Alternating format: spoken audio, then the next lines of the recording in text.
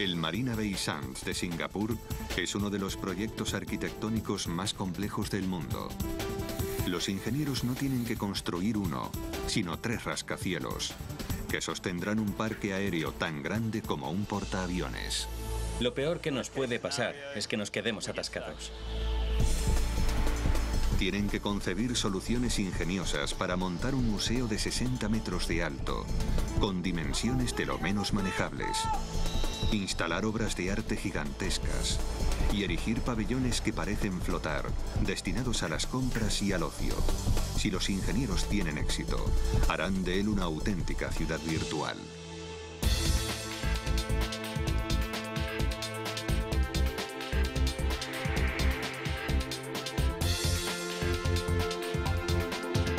Superestructuras, el complejo Marina Bay Sands de Singapur. Singapur. Este país del sudeste asiático es más pequeño que la ciudad de Nueva York. La falta de espacio les obliga a construir su mayor centro de ocio hasta la fecha en un pequeño terreno ganado al mar. El Marina Bay Sands no es solo una superestructura, sino varias. Construir un conjunto de edificios que formen un único complejo entraña numerosos desafíos. Tres hoteles de 57 pisos se inclinan con tremendos ángulos. Corren el riesgo de ceder ante su propio peso. Un problema aún mayor es el tejado del hotel, todo un parque al aire libre de 340 metros de largo, que contiene jardines, piscinas descubiertas y el mayor mirador del mundo instalado en voladizo. Pero ¿cómo se construye algo del tamaño de un portaaviones a 200 metros de altura? En el atrio del hotel hay que incorporar obras de arte gigantescas al propio edificio. Su pieza central, una masa de acero de 15 toneladas creada por un artista británico renegado es todo un desafío. Se planea que el Museo de Arte y Ciencia de 60 metros de alto cause el máximo impacto visual. Será a Singapur lo que el edificio de la ópera es a Sydney. Solo hay un problema. Su construcción parece poco viable y una serie de impresionantes pabellones recubiertos de cristal que no parecen demasiado difíciles de construir de por sí se instalarán sobre el agua.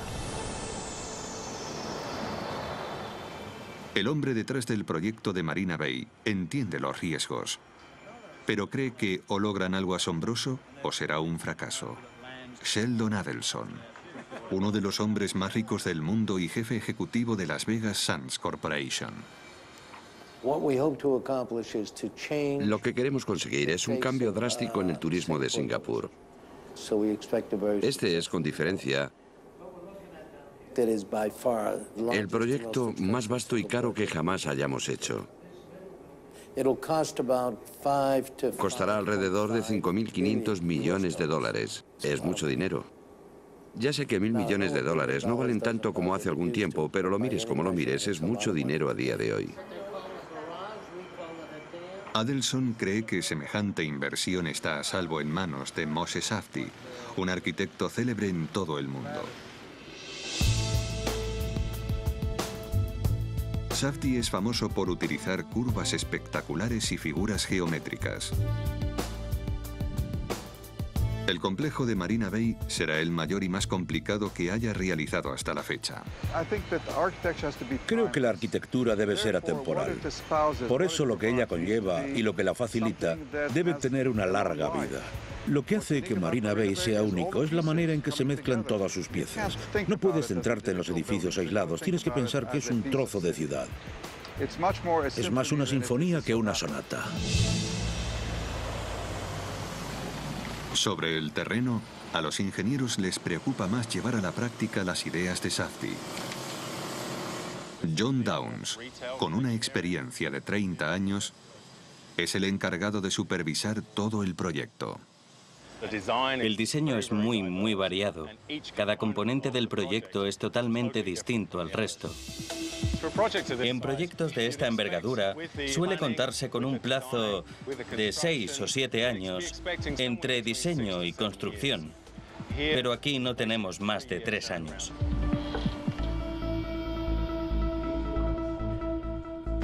Lo primero y más complicado es establecer la planta, tarea que suele ser sencilla.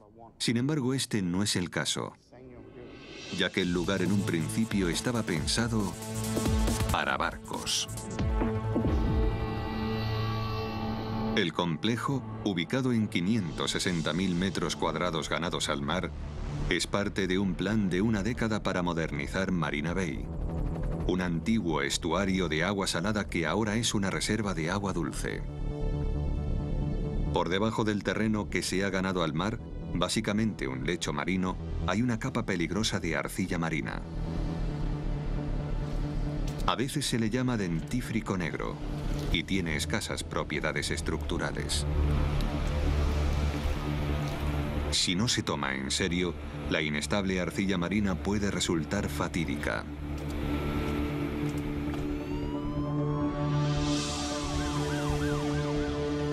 En 2004, los singapurenses descubrieron sus letales consecuencias en primera persona. Una excavación rutinaria de un túnel subterráneo para el metro de Singapur se vino abajo, creando una enorme grieta en la autopista Nicol y matando a cuatro trabajadores.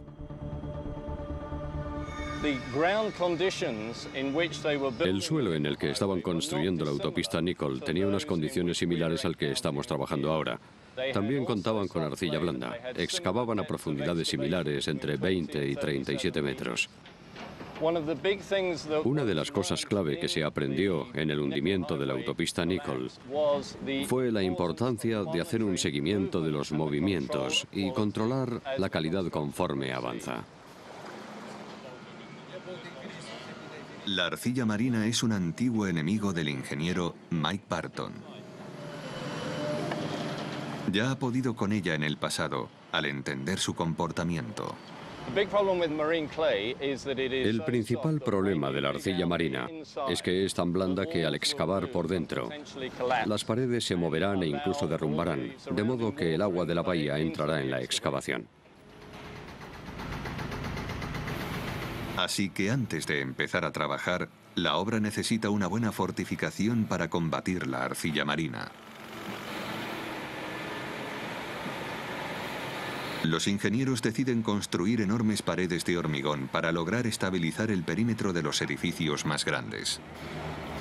Conocidas como muros pantalla, tienen hasta metro y medio de ancho. Los muros pantalla constan de secciones de hormigón reforzadas con acero clavadas en la tierra a 50 metros de profundidad.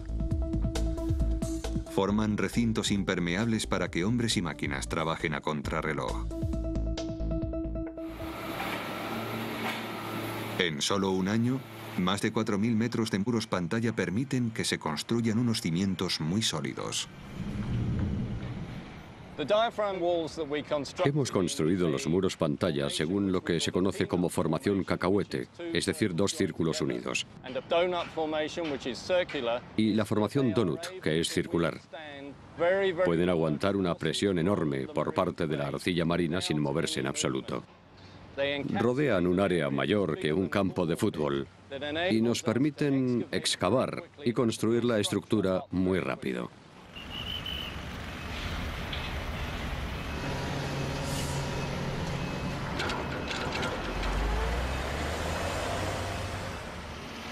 Asegurar el plano del proyecto Marina Bay ya ha ocupado un año del programa de John Downs.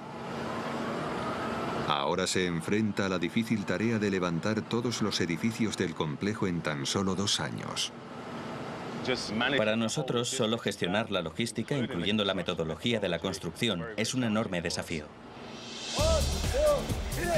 Para cumplir ese ajustado plazo, Downs opta por la solución más directa. Contratar a 16.500 trabajadores para que construyan todos los edificios, a la vez. Es como dirigir un pequeño ejército, por lo que una excelente organización es la clave. Estamos justo a las afueras de Singapur, en el distrito financiero, así que lo que hacemos es, en vez de enviar a los contratistas y a los trabajadores a otro lugar, construimos aquí mismo nuestra propia oficina de proyectos de tres plantas. Tenemos aquí a todos los contratistas, subcontratistas, tenemos alojamiento para los trabajadores, tenemos al equipo de gestión del proyecto, al de gestión del diseño y toda la logística.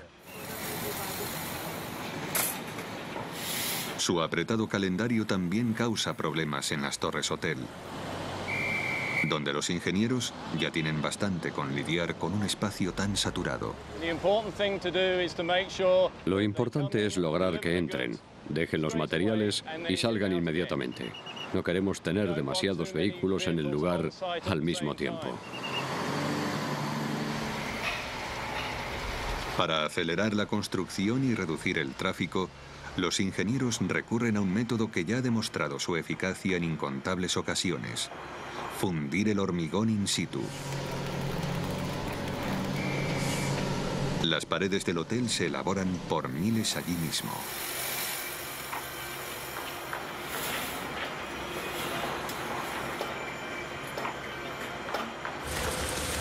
Y los trabajadores son tan competentes que pueden producir un piso cada cuatro días de trabajo. Un impresionante alarde para una tarea habitual. Pero la estructura que están intentando levantar no es habitual en absoluto. El principal desafío de estas torres es su diseño tan poco común. Al contrario que otros rascacielos, parte de las torres tienen una inclinación espectacular. Como ocurre en el efecto dominó, las torres podrían venirse abajo por su propio peso si no se encuentra una solución práctica para construirlas. Es una de las principales preocupaciones del ingeniero Craig Glover. He trabajado en el sector durante 25 años y he realizado una larga lista de proyectos en distintos países, pero ninguno se parece a este ni por lo más remoto. No podemos basarnos en nada que se haya hecho por aquí en futuros proyectos de rascacielos o en otras zonas de la ciudad. Estamos ante una nueva frontera.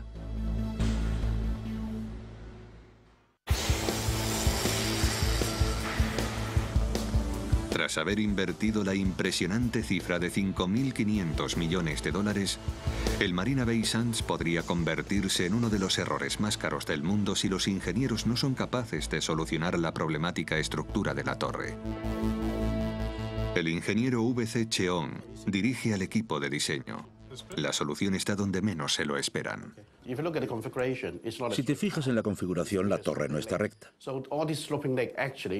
Uno de sus lados está inclinado y está ejerciendo una enorme presión externa sobre la estructura. No puede construirse sin algún soporte. Así que creamos una solución para sostener ese lado inclinado.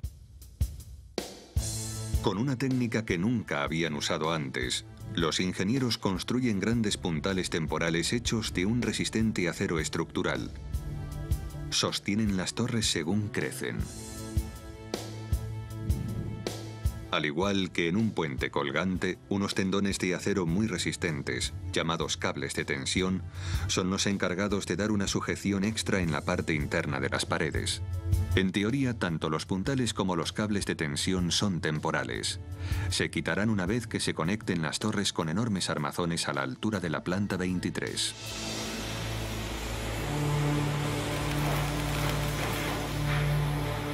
Solo el peso del hormigón sería capaz de hundir las torres en el piso 8 si los cálculos de los ingenieros fallan. Para reducir las posibilidades de error, Glover y su equipo han tomado una decisión radical. En vez de quitar los cables de tensión temporales, dejarán que sean soportes permanentes. Me parece bien que estén ahí porque añaden fuerza y sujeción. Esto es un torzal de acero muy resistente. Lo que hacemos es un atado de varios como estos para formar un gran cable de varios filamentos que van por dentro de este tubo. Colocamos el tubo dentro de los muros antes de preparar el hormigón. Lo que hacemos a continuación es, una vez fundido el hormigón, anclamos un extremo en él y añadimos un gato neumático muy potente a los cables. Uno a uno, vamos tirando de ellos y tensándolos. Lo que hacen es simplemente tirar del edificio hacia atrás y mantenerlo en su sitio. Si los cables se rompiesen de golpe o si no estuviesen en su sitio, no seríamos capaces de controlar el peso del edificio según va ganando altura. Pero por muy rápido que piense el equipo, las decisiones del equipo de ingenieros no habrán superado la prueba de fuego hasta que no se retiren los enormes puntales y se instale el gigantesco armazón.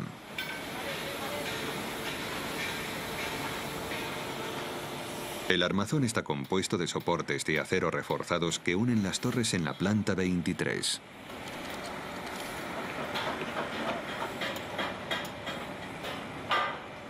Una vez instalados, eliminarán completamente la presión que recae sobre los puntales temporales. Cuando estemos seguros de que no hay ningún problema de estabilidad, traeremos las grúas hidráulicas y pieza a pieza desmontaremos los puntales.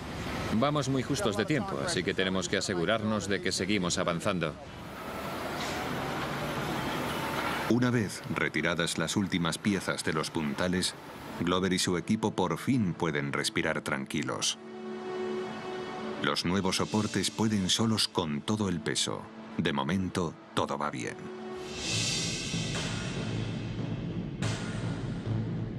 Pero no todas las estructuras han ido según lo previsto. El Museo de Arte y Ciencia, de 60 metros de alto, está siendo sometido a una revisión en profundidad. Se prevé que sea sede de grandes exposiciones sobre arte y ciencia, y su tejado en forma de cuenco también hará las veces de un anfiteatro con 3.000 plazas. Por desgracia para los ingenieros que están deseando empezar a construirlo, el arquitecto Moshe Safti no está contento con su forma tal y como está ahora. Alguien al mirarlo dijo, parece un montón de plátanos. De hecho, fue el señor Adelson quien lo dijo. Y yo respondí, pues si parece un montón de plátanos es que aún no está terminado. Son muy malas noticias para el equipo de diseño de Safti sobre todo para su director, Gene Dyer. A veces Moshe llega con una idea y a todos nos parece estupenda. Trabajamos en ella durante semanas e incluso meses y luego viene y te dice, quiero cambiar la idea. Cuando todos estamos de acuerdo en esa idea puede ser frustrante.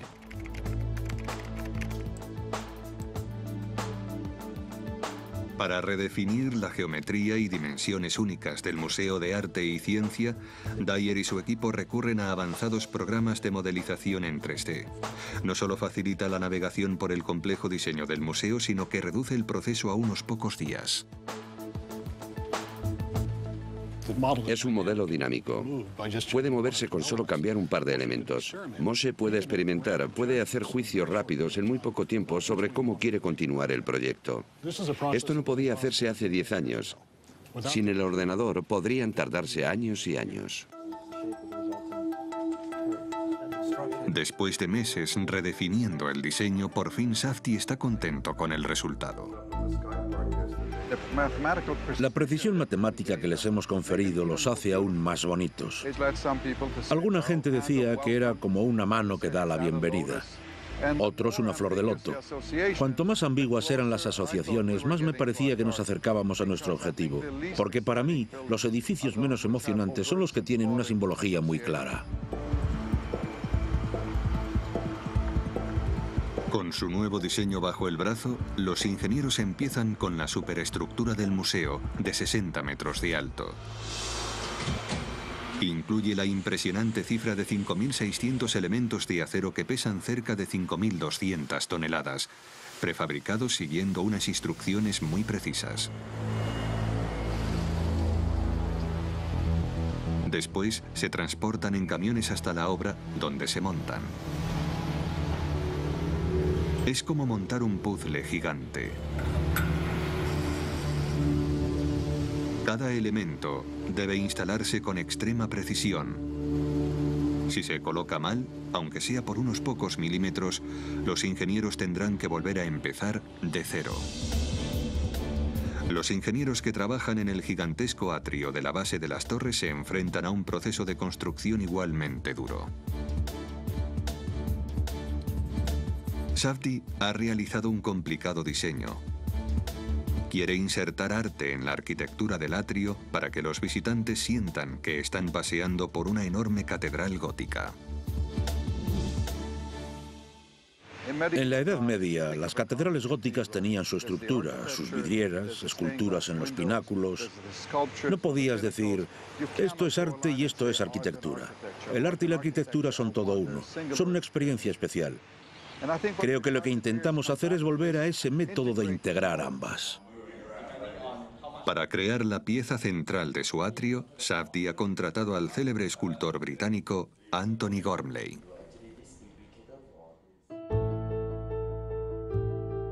Conocido por su insólito enfoque del arte, Gormley es el creador de la escultura Ángel del Norte en el norte de Inglaterra. Su nueva creación está resultando ser un desafío más arquitectónico que artístico.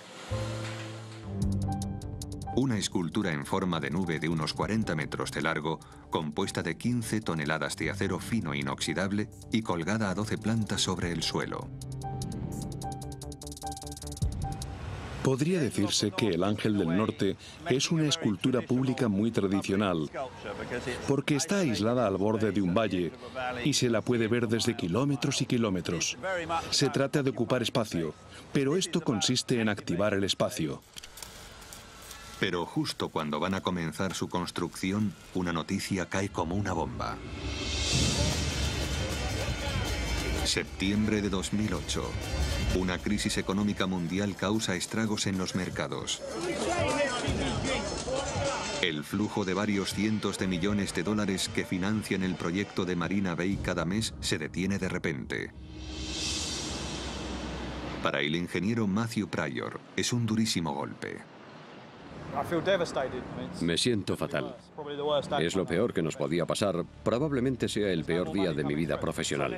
No está llegando el dinero, así que a menos que consigamos fondos vamos a tener que parar el trabajo. Es una decisión muy difícil y ahora mismo no sabemos lo que vamos a tener que hacer. Con un proyecto de varios miles de millones de dólares en la cuerda floja, Todas las miradas están puestas en el hombre que lo dirige, Sheldon Adelson.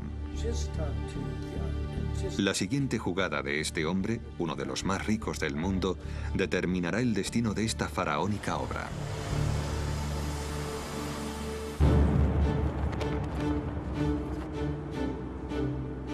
La crisis financiera de 2008 es una inquietante réplica de la crisis asiática de los 90. Por entonces, las obras en el Centro Financiero Mundial de Shanghái se interrumpieron por completo durante cinco años. Adelson ni se plantea una solución así en el lujoso complejo Marina Bay. Está en juego su plan de hacer un cambio radical en el turismo de Singapur, al igual que la inversión de varios miles de millones de dólares que ha hecho su empresa, Las Vegas Sands Corporation prefiere buscar una solución provisional mientras pasa el temporal. En la historia, nunca ha habido tendencias únicamente alcistas o bajistas. Siempre sube y baja. No nos queda más que esperar a que la situación mejore. Finalmente, Adelson tomó la atrevida decisión de poner en juego su enorme fortuna personal para sacar adelante el proyecto, acabando así con las especulaciones que pronosticaban su fracaso. Es increíble lo que esto ha aliviado al personal. Todo el mundo está gratamente sorprendido por lo rápido que hemos salido del atolladero y por el hecho de que el proyecto siga adelante. Creo que la palabra que mejor describe la situación es euforia. Habiendo sorteado la crisis, la construcción de las torres del hotel, el casino, los teatros y el centro de convenciones continúa con buen ritmo.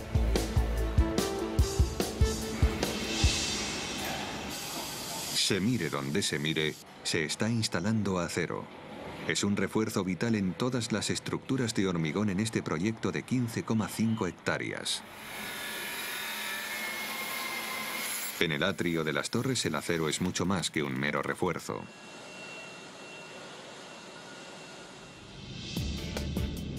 Para construir Drift, la escultura de 5 toneladas diseñada por el británico Anthony Gormley, los ingenieros tienen primero que fabricar cuidadosamente sus más de 70 segmentos.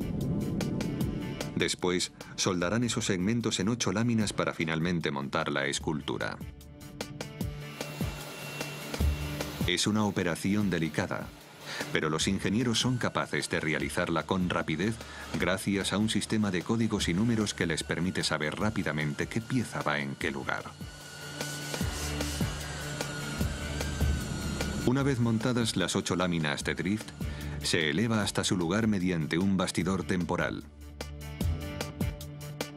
Después transferirá el peso a una enorme caja con tirantes. En teoría, también será capaz de sostener el peso del bastidor conforme vaya descendiendo. Será un momento de infarto. Sobre todo para el ingeniero Graham Stephenson. El bastidor pesa unas 9 toneladas y media, así que al enderezarlo, con el impulso, cabe la posibilidad de que tienda a girar del todo, 90 grados más, haciendo que perdamos el control.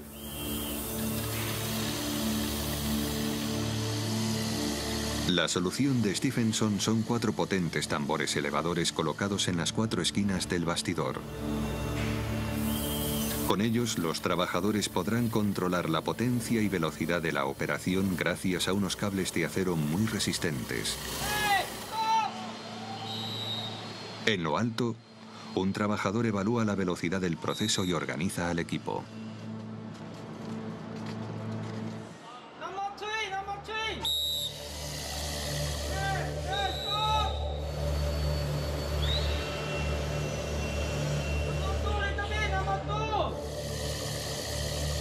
Se calcula que la operación durará unas 10 horas.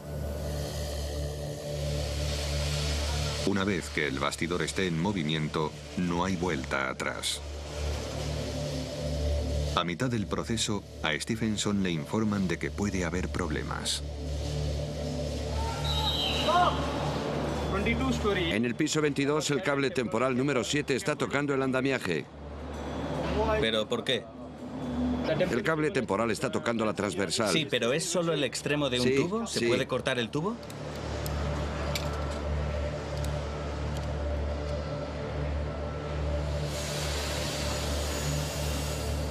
Problema solucionado. Pero lo que iba a ser un trámite de 10 horas se convertirá ahora en un maratoniano levantamiento de 24 horas. Las 6 de la mañana terminan la tarea. Ha sido fantástico. La escultura de Gormley por fin está en su sitio. Es el final de un día duro y agotador. Muchísimas gracias a todos. Ya está hecho. Mientras Drift se acomoda a su nuevo hogar en el atrio del hotel, toda la atención se centra en una de las claves del proyecto. Los pabellones de cristal. Dos edificios revestidos de cristal junto al paseo que serán los principales centros de ocio y compras del complejo.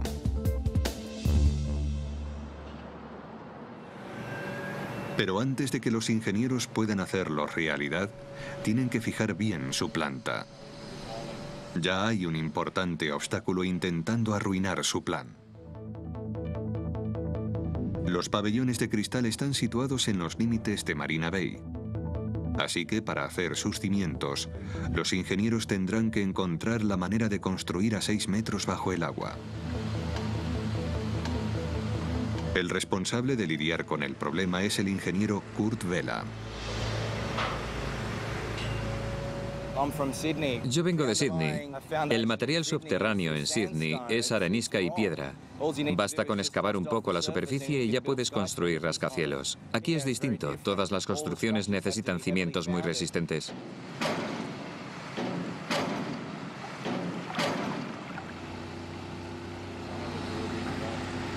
Vela y su equipo creen que solo existe una solución posible para evitar que el agua entre en la obra.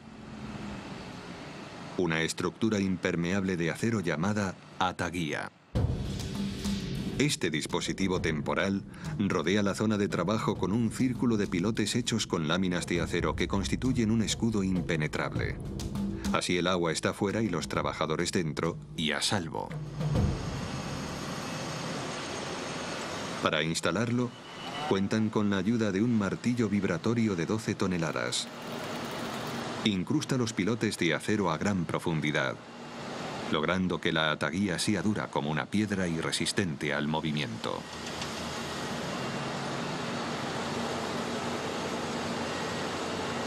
Una vez bien instalada la ataguía, Los ingenieros despliegan potentes bombas diésel y las dejan funcionar 24 horas al día, sacando toda el agua que quede dentro de la instalación.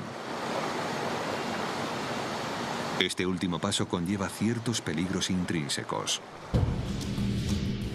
La fuerza del agua que hay fuera crea lo que los ingenieros llaman presión hidrostática. En teoría, es lo suficientemente potente como para que el agua entre por cualquier ranura en la ataguía. Vela reza para que esto no ocurra. Hay muchas dudas y recelos respecto a la construcción de este edificio en medio de Marina Bay.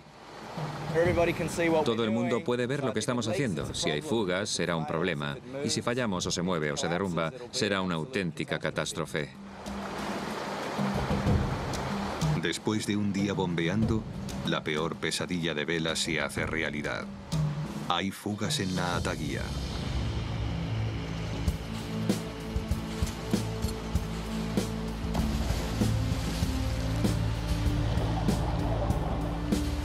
Solucionar el problema, Vela encarga a un equipo de ocho submarinistas que hagan turnos de 10 horas bajo el agua. Su misión es encontrar por dónde está entrando el agua y obstruir las grietas con resina epoxídica. Anson Lee es un veterano del submarinismo con una experiencia de ocho años. Lo peor de mi trabajo es el entorno. La visibilidad aquí es muy mala. No veo nada en absoluto. Voy a tientas, siento la succión y relleno la grieta. Tienes que superar el miedo de no ver bajo el agua, pero voy bien. Estoy orgulloso de formar parte del equipo y contribuir a sacar adelante el proyecto. Tras dos semanas de duro trabajo por parte de los submarinistas y quienes manejan las bombas, por fin el trabajo llega a su término. Después de dos años luchando contra los elementos y superando duras barreras, en las tres torres inclinadas de Marina Bay Sands se celebra por fin el haber alcanzado la cima. Y se pasa a la siguiente fase. Pero las destructivas fuerzas de la naturaleza amenazan con echar todo el trabajo por tierra. Se prevé que el cambio climático afecte al patrón por el que se rigen los tifones del sudeste asiático. Es posible que Singapur acabe sufriendo las destructivas tormentas tropicales que sufren sus vecinos de Filipinas y Taiwán. Cuando eso ocurra, la fuerza de los tifones podría ser desastrosa en las torres del hotel, sobre todo en el parque en altura que las corona. La fuerza del viento podría hacer que se tambalearan peligrosamente, causando daños irreparables en su estructura.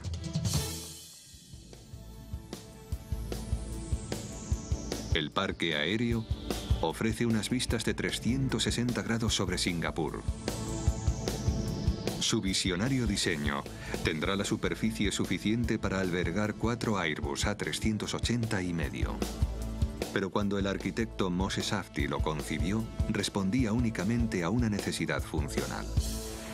Siempre se piensa que los hoteles de lujo tienen mucho espacio al aire libre a su alrededor, jardines, es como una tradición, pero nosotros no teníamos tanto espacio. Entonces me dije, si tomamos una extrusión de espuma y hacemos una especie de losa por encima de las tres torres, ¿qué nos da? Pues un parque. Así surgió la idea. Por eso puede decirse que es un hotel vacacional. La revolucionaria idea de Safti puede parecer un tanto ingenua, pero claramente no entra en los planes de la naturaleza. Los vientos huracanados amenazan con hacer tambalear las torres y su parque aéreo, causando daños inconmensurables. Si los ingenieros quieren que el edificio se haga realidad, necesitarán una solución contundente. El ingeniero Tony McKee apenas dispone de tiempo para implantar soluciones. Ya vamos un par de semanas por detrás de lo estipulado. No es que estemos contentos por eso, pero lo que importa es hacer las cosas bien y que sean seguras. Para luchar contra su enemigo, McKee sabe que primero tiene que entenderlo bien. Contrata a CPP, los mejores ingenieros de viento de Estados Unidos, para que haga pruebas minuciosas en las torres y el parque aéreo. Su misión, descubrir en qué medida podrían afectar las fuerzas del viento de Singapur a los edificios. El ingeniero de viento Roy Denun supervisa el proceso en su novedosísimo túnel de viento en Fort Collins, Colorado.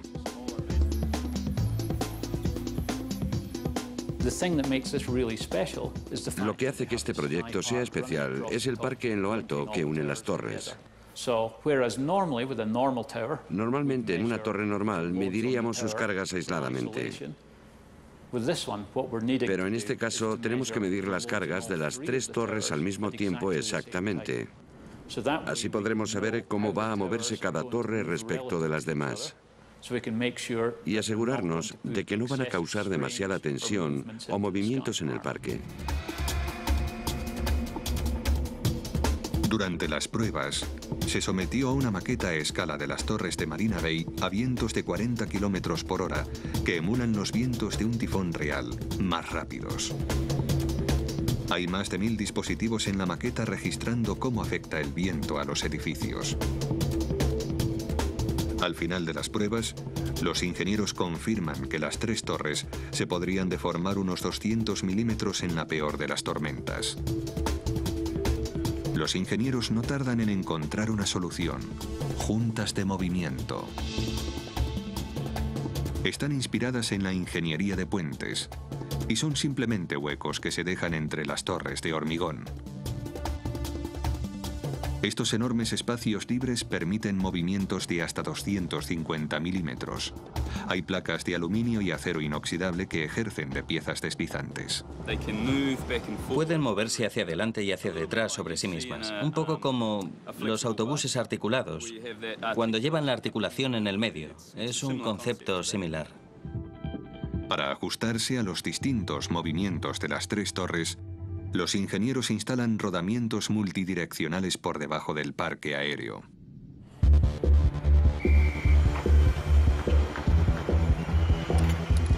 Con los resultados finales en su poder, McKee ya puede empezar a construir el parque aéreo sin riesgos. Formado por unas 10.000 toneladas, el parque aéreo es tan grande como un portaaviones. La manera más práctica que tienen los ingenieros para construirlo es dividirlo en 14 segmentos en tierra y montarlos en lo alto de las torres.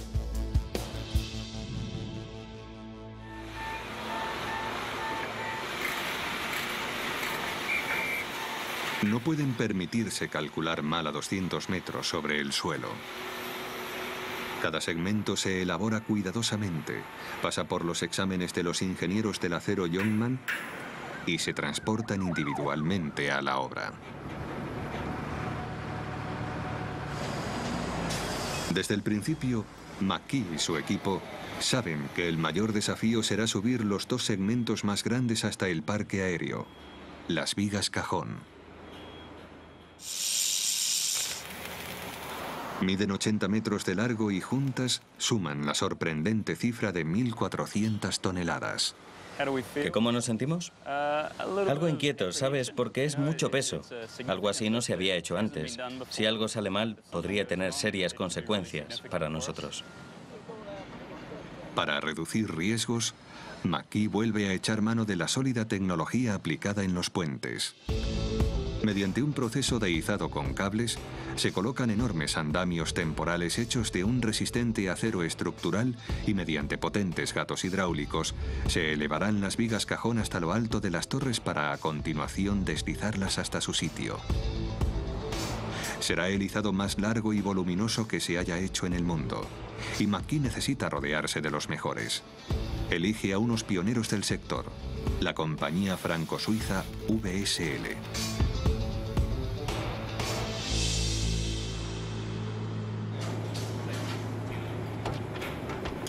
El ingeniero Eddie King y su equipo ya han construido con éxito puentes e incluso norias. La parte más difícil de mi trabajo es que hay que planearlo todo con mucha precisión Es cuestión de milímetros. Hay que elevarlo, deslizarlo hasta su lugar y colocarlo con una precisión de entre 5 y 10 milímetros. Si no lo hacemos bien o con seguridad, lo peor que podría pasar es que se cayese la viga al suelo. Otros factores complican aún más el proceso de izado. Ya que cada vez les queda menos tiempo, el equipo se ve obligado a realizarlo durante el monzón anual de Singapur. Es casi imposible prever cuándo tendrá lugar una tormenta tropical. Cuando llega, los rayos que la acompañan pueden suponer un riesgo para la vida. Además, ya que toda la operación se desarrolla a pocos metros de una atestada autopista, las miradas curiosas detectarán cualquier error que puedan cometer los ingenieros. Puede convertirse en una pesadilla para sus relaciones públicas.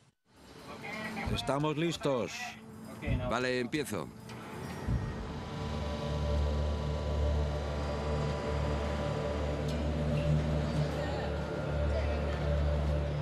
Durante un proceso de izado que se calcula dure 16 horas, las vigas cajón se moverán con precaución a 14 metros por hora.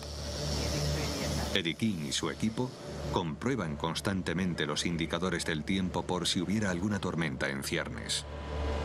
También se inspeccionan regularmente los gatos hidráulicos para que no se recalienten. Nadie quiere que la operación se paralice en el aire.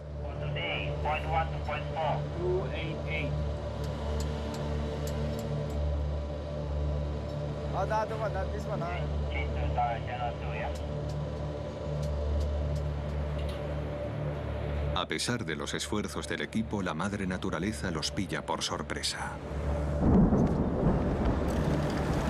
Bueno chicos, va a empezar a llover. Mejor que lo dejemos aquí.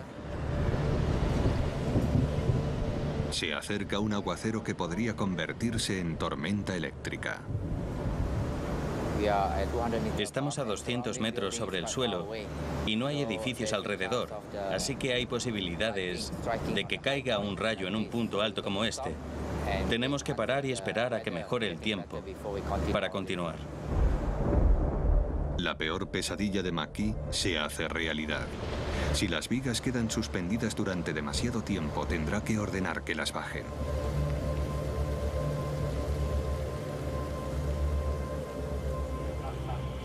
Ok.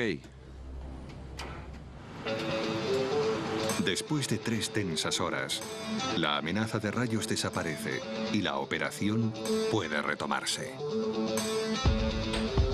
Para el momento en que las vigas cajón se instalan en su lugar, ya es pasada medianoche. Todo ha ido bastante bien hoy. Espero que mañana sea igual. Habiendo aprendido la lección después de la primera viga, el resto de los segmentos se van izando sin percances. Cuando la última pieza llega a su sitio, todo Singapur está maravillado con el esfuerzo del equipo que está construyendo uno de los proyectos arquitectónicos más ambiciosos del mundo.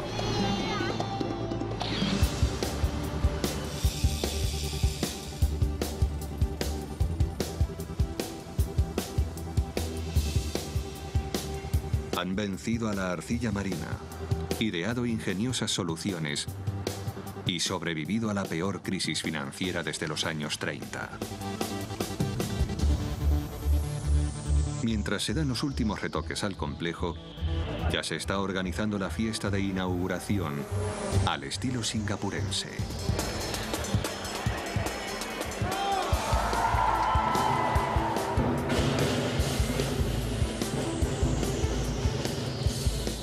Que han estado involucrados en el proyecto reflexionan sobre cómo este ha superado sus expectativas. Es un poco abrumador. Ahora estoy en la fase de cortar el cordón umbilical. No es fácil para un arquitecto. Solo se hacen proyectos así una vez cada 25 años, más o menos. Ha supuesto mucho trabajo. Ha sido todo un desafío. No podría hacer una lista de todos los desafíos que hemos ido superando por el camino hasta hoy. Todo el mundo está diciendo que es una especie de milagro, que nunca han visto algo así. Es muy gratificante, muy agradable. El Marina Bay Sands de Singapur ha demostrado que con un diseño visionario y el saber hacer de los ingenieros, las megaestructuras pueden hacer frente a las adversidades y hacer realidad los sueños más descabellados.